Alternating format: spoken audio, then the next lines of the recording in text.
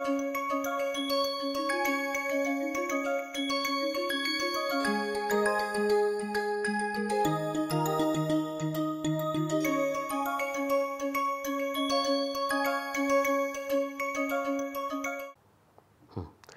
everyone, uh, welcome to today's lecture.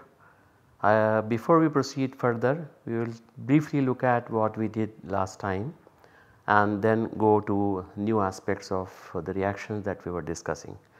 So, last time towards the uh, um, end we looked at many aspects of uh, the SAMP and RAMP based CC uh, uh, bond formation as you can see that this is uh, a SAMP based uh, hydrazone and uh, when we carry out a CC bond formation uh, next to this uh, hydrazone moiety then of course we induce asymmetry.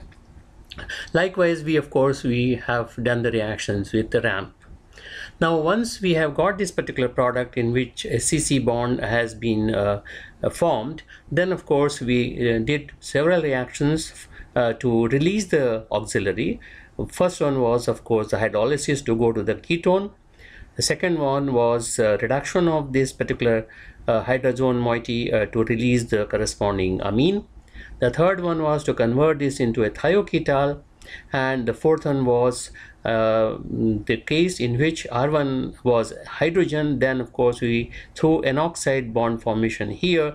We uh, got the corresponding nitrile in all these cases we had this carbon carbon bond formed in an asymmetric fashion and which of course was high enantiomer selective uh, products now uh, we also looked at the uh, camphor sultam based auxiliary as introduced by Oppolzer and saw the Diels-Alder reactions and Michael reactions in highly enantiomer selective fashions now towards the end we uh, looked at the aldol reactions and directed aldol reactions under basic or acidic conditions. Uh, we saw that if the aldol reactions are not directed then of course we keep on getting um, different mixtures of the products. Uh, but if we have a directed aldol reaction then of course we get only specifically uh, these types of uh, products in which uh, the two enantiomers of the syn product and two enantiomers of the anti-products are formed. And if the reaction is highly diastereo selective, then of course we would get one as the major over the other one. So uh, that is how uh, we looked at the reactions of the directed aldol reactions. Now we will go further for uh, today's lecture. First of all uh, these uh, syn and uh, anti-products these are the syn, syn and uh, anti-products uh, we need to sort of uh, define them and as you can see here it is a syn product uh, which in which the two hydroxy groups are uh, oriented in the same direction and the same is the case here. And uh, first of all what you have to draw is a main carbon chain in, in extended in a zigzag form. So this is the R C C C R prime this is the uh, main chain of the um, uh, which is written in zigzag form and uh, in such a case when the two substituents at C2 and C3 like this is C2 and this is C3 if suppose these substituents are oriented in or disposed in the same direction like as you can see here they are in exposed in beta direction or alpha direction here. So, that means these are called syn products. When uh, the uh, C2 and C3 groups are oriented or disposed uh, in different directions like here this is an alpha and this is beta and here is alpha and this is uh, sorry this is uh, beta uh, it is not correct. This is this is beta.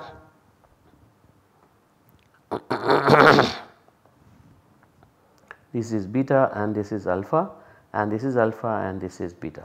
So, uh, they are uh, opposite uh, to each other uh, therefore, these are called anti products. Uh, but some people call it as erythro uh, although not many people accept it, but some people call such arrangements as erythro and this arrangement as threo. It has also been found that uh, good diastereo selection uh, is uh, noticed using lithium and boron enolates which have been widely used. The stereochemical course of reaction depends on uh, thermodynamic and kinetic conditions. Different kinds of thermodynamic and kinetic conditions are, are employed. It also depends on the geometry of the enolates and uh, for example this is a Z enolate and this is an E enolate. So the R1 group is opposite R1 group is opposite to the enolate here and therefore this is an E enolate whereas R1 group is in the same direction as enolate and therefore this is Z configuration. And it is noticed that the Z enolates lead to syn products and E enolates give to uh, anti products. It also depends upon uh, the size of the R group here. For example, if the size is of R2 is large then there is a better selectivity or higher selectivity that is observed.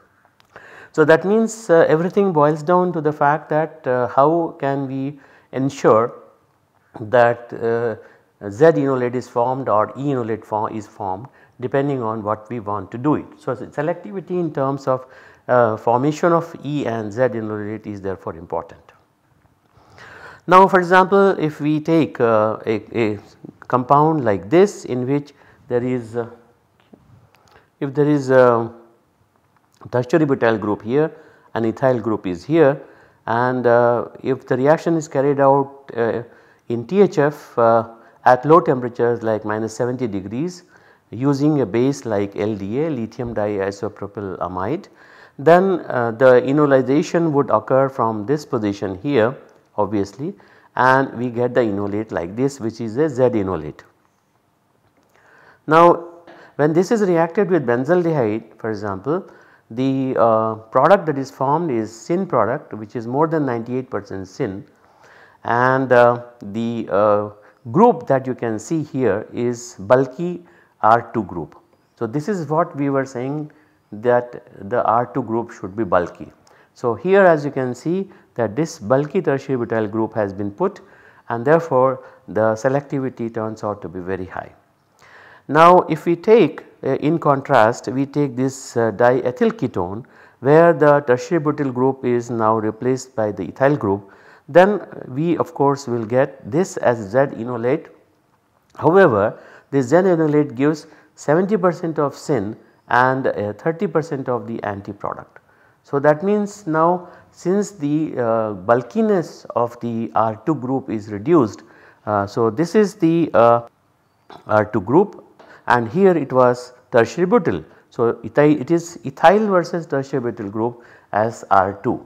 So clearly the, the size of the R2 group um, makes a lot of difference in terms of uh, selectivity of syn versus trans.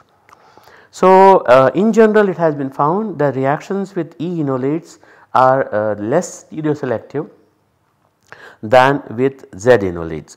Now, on the other hand reactions conducted under equilibrating conditions give mainly 2 3 anti aldols irrespective of the geometry of the enolate.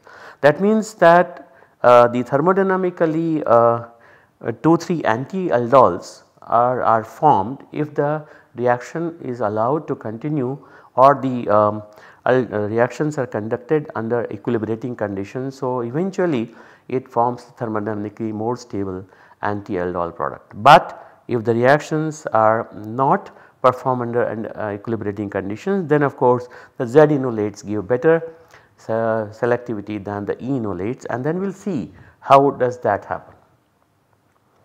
Now here uh, aldol condensation uh, that you can see is uh, generally reversible because unless and until it is worked up the reaction is worked up with acidic conditions or basic conditions depending on what kind of enolates are used and uh, the reactions are basically reversible. And syn anti-equilibrium is noticed if the aldol is allowed to stand for a long time in ether solution. So now why is it that the Z enolate gives uh, syn product more and E enolate gives uh, a kind of mixture that we can see. Suppose you allow this uh, aldehyde to react with Z enolate like this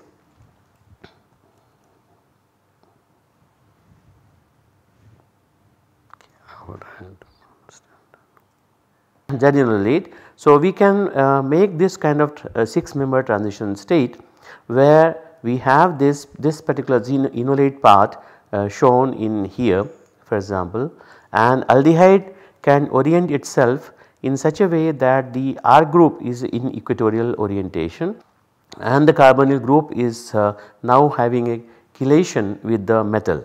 So, this particular OM is oriented here so that the boron or the lithium or whatever the metal is can have a intercalation with this and this 6 member transition state which is a cyclic uh, chair form can be anticipated.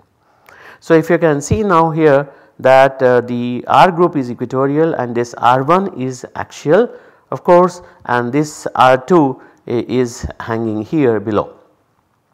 In such a situation when the aldol condensation takes place then we can anticipate that this uh, particular geometry is formed for, for example this uh, the CC bond when it when it forms in here then what we have is a hydroxy group pointing it upward and the R1 group is also pointing upward therefore these two are beta and therefore this is 2 3 syn product. Now this is uh, most likely uh, the product uh, between the two of them. In the, in the second uh, possibility we can orient uh, the aldehyde in such a way that uh, R group now becomes axial. So now we have two axials here the R as as well as R1. Here the R1 being axial does not matter much because we do not have any substituents on this particular um, uh, sub, uh, position and therefore there is no 1 3 diaxial interaction. On the other hand when this becomes axial here then what we have is on 1, 2 and 3 now we have a 1 3 diaxial interaction and therefore we, we can expect that such a, a steric hindrance would uh, create a problem. At the same time the, the ligands attached to the metal will also have an interaction with the R group that is here or even R2. And uh, as you can now see that uh, the, uh, the R1 group is pointing up as uh, in the previous case but now if we turn around this R group so that it orients in this particular fashion then of course the OH will come down and therefore this is anti orientation of the aldol product. Now this is what we call it as least likely and that is because of the tremendous steric hindrance that the R and R2 groups and also the ligands on the metal are basically experiencing. Therefore, this is least likely and this is most likely. Now we turn towards the um, uh, E enolate and as you can see the same type of orientation that we can uh, uh, uh show and but in here now since the um, E enolate is there therefore R1 group is uh, opposite to the uh, OM and therefore it is orienting in equatorial position. Now if we put the aldehyde in which uh, we have the uh, R group here in the uh, axial orientation and of course there has to be a double bond O and uh, in such a situation when the reaction occurs as you can see R1 is pointing downward and if we orient R up then OH will come down and therefore this is 2 3 syn. Now uh, here there is a possibility of the same sort of interactions as they are here in this case and, and therefore it is also not a very uh, choice uh, product for choice. Uh, and uh, when we convert the um, other orientations where the RCHO group is such that the R group is uh, equatorially oriented. Now we have R as well as R1 group both are equatorially oriented and then now if you look at the product that is formed In this case if R group is already in the same direction as up and this particular part is also here Therefore, uh, as such you can see that the OH is pointing upward and the R1 group is pointing downward and therefore they are also anti to each other. So, um, now uh, this is uh, 2 3 syn and this is 2 3 anti and therefore what we expect that uh, in this case since the uh, steric hindrance is not uh, there therefore we expect this product to form in a larger amount. To some extent this product is formed and a larger amount of this particular product is formed. And therefore we, um, we say that the Z enolate uh, is um, very good uh, uh, enolate to lead to the 2 3 syn product and uh, in this case we get somewhat a mixture of the products because in this case this is less but still likely. Why do we say still likely because R1 group is in equatorial position whereas in this case the R1 group is in the axial position. Therefore, between the two of them this one and this one this is little bit likely to be formed more but this is less likely to be formed. Therefore, uh, in this uh, Z enolate case when there are two possibilities clearly the 2 3 syn product is most likely and therefore the selectivity turns out to be high. In the case of uh, E enolate because the R1 groups are equatorially oriented therefore uh, both the possibilities to some extent one large one less is there and therefore selectivity becomes somewhat less. Now uh, the CC bond formation via boron and uh, silicon enolates uh, have been uh, very uh, much used in the aldol chemistry and we will look at some of these things uh, in little bit more detail. Uh, excellent diastereo selection has been observed using vinyl oxyboranes. As we uh, checked uh, before that we can make the enolates uh, the, the way we want it. Now if we take a diethyl ketone for example something like this, something like this then uh, if we use dibutyl uh, boron triflate and in the presence of this Hünig base that is diisopropyl ethylamine at minus 78 degrees then this is the uh, enolate that is boron enolate that is formed which is a Z enolate which is 19 more than 99 is to 1 ratio of the Z and E enolate and when this reacts with benzaldehyde then of course you get uh, uh, syn product syn aldol uh, which is more than 97 percent in terms of its ratio. Now uh, why is it that uh, Z enolates are formed in most cases? One of the product one of the reasons for this is that if we look take the, the, the kind of Newman projection of the transition state then as we can see it here that this uh, particular methyl group uh, and this ethyl group are away from each other.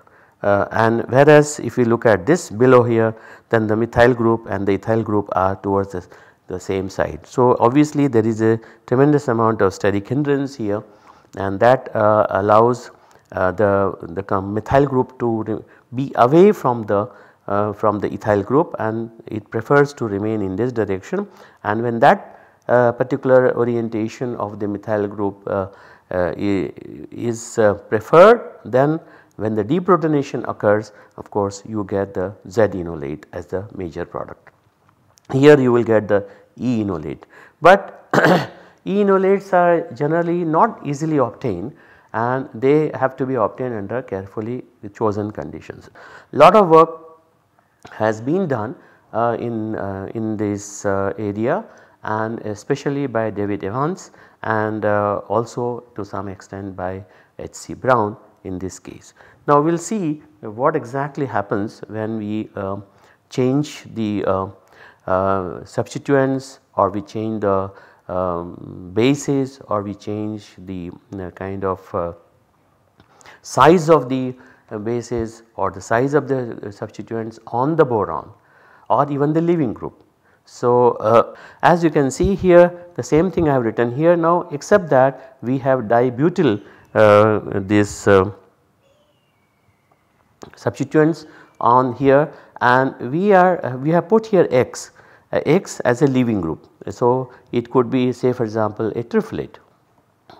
So, what has been observed by David Evans, uh, David Evans D A Evans uh, that that everything being equal, everything being equal more bulky base like DIPEA that is diisopropyl ethylamine which is what is used in many um, cases and that allows anti deprotonation. Now anti deprotonation means this is the anti complex in which the methyl group and the ethyl group are away from each other.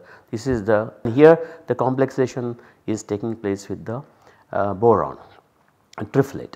Now what has been found that if we take a bulky base such as DIPEA, so you have isopropyl, isopropyl and you have N and of course ethyl.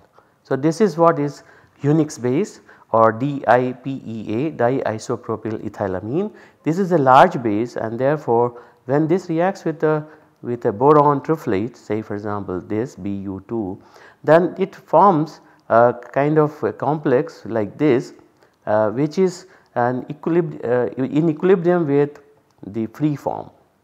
That means uh, you have AIPR IPR2 uh, N and ethyl and of course we have the boron here Bu2 O triflate. So, they, this actually the uh, it is an equilibrium with each other that means it, it attaches to the boron and it dissociates from it. So, in that situation when it comes in contact with the carbonyl group then uh, the when boron attaches to it and boron then tries to be away from the methyl group here that is where it is shown as a in the beta orientation that means it is coming towards us uh, and avoiding the interaction with the methyl group. So, a, the methyl has a choice either it remains in this direction or it goes into this direction.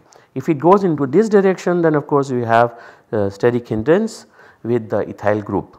But if suppose it remains in the same position here as a methyl group then the since there is an equilibrium between the two of them the boron gets attached to the oxygen but from away from the side of the methyl group and now the large uh, base which is a Hünig's base goes and uh, deprotonates the hydrogen from there which then leads to the formation of the Z enolate. And uh, if uh, if the um, the uh, methyl group goes into the other direction then of course you, we would expect the E enolate to form. But then that does not happen in the case when we have um, large uh, bases such as uh, Hünig's base or uh, diisopropylethylamine because they uh, are in equilibrium and therefore the boron can easily interact with the oxygen and keep it, itself away from the methyl group. But if it if the base is relatively small then such as triethylamine less bulky then there is a possibility of uh, the deprotonation from the syn complex here. The, in that situation what happens if methyl group goes on to the left hand side it has an interaction with the ethyl group that is fine. But at that time the boron actually uh, the less bulky groups uh, less bulky bases uh, form irreversible complex with the uh, boron. So, you have uh, say triethylamine and it forms irreversible say like this you have minus and plus. So, this does not dissociate readily and therefore, it remains attached to the nitrogen and since the base is required for the deprotonation. So, therefore, this particular uh, orientation that means oxygen boron bond is going backside. If it goes backside then it will have a steric hindrance with the methyl group therefore methyl group goes away from it and it prefers to stay here.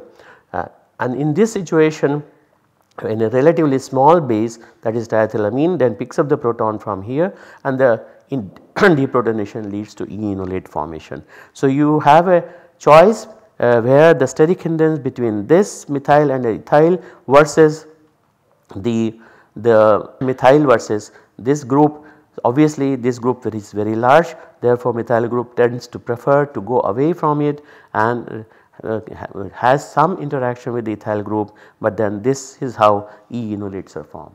And since this is a situation where it is not a very um, a very easy situation and therefore one gets the E enolate uh, as, as a product but with not a high selectivity. That is the reason why Z enolate is formed with high selectivity when uh, the large base is used uh, in the um, deprotonation. Now uh, this is how it is summarized. So we will uh, stop it here uh, today and uh, we will take the uh, reactions of these for condensation and see how these are leading to the formation of the syn and the anti products in aldol reactions. So please study whatever I have told and I have also given you some references you can check more in detail and uh, till then bye and see you in the next class.